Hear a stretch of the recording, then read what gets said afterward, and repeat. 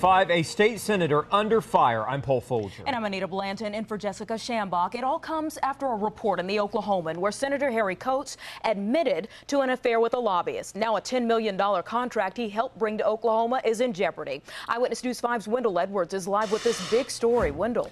Anita, the Office of Juvenile Affairs announced it will award a $10 million contract to the Ada Youth Academy Authority. The authority would build and operate a 144 bed youth academy. The contract is supposed to be signed on Monday.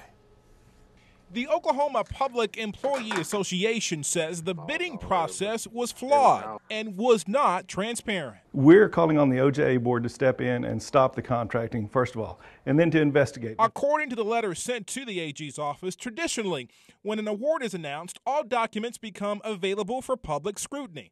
However, the Office of Juvenile Affairs Director is not allowing the public to review the documents prior to the agency signing the contract. We're, what we're talking about is signing the contract next Monday. And nobody has seen the documents, the bid documents, or how the scoring was compiled. Also at the heart of this deal, a relationship between State Senator Harry Coates and lobbyist Haley Atwood. According to the Oklahoman, the two admitted they were having a romantic affair. Atwood works for the company hired to run the facility in Ada. We had night meetings in Clinton, and Harry came and brought Haley Atwood.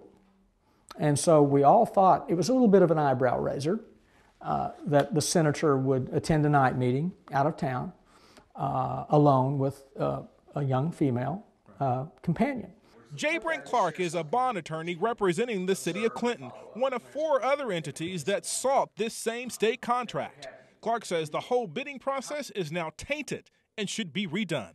The public has to have confidence in the decisions that are made by public institutions. And the only way now is to throw out this tainted RFP and start over. And tonight we'll explain more about this process used by the Department of, by the Office of Juvenile Affairs and where officials go from here. Reporting live tonight, Wendell Edwards, Eyewitness News 5. Thank you, Wendell. And we tried contacting Senator Coates, Atwood, and the director of the Office of Juvenile Affairs. No one was available for an interview.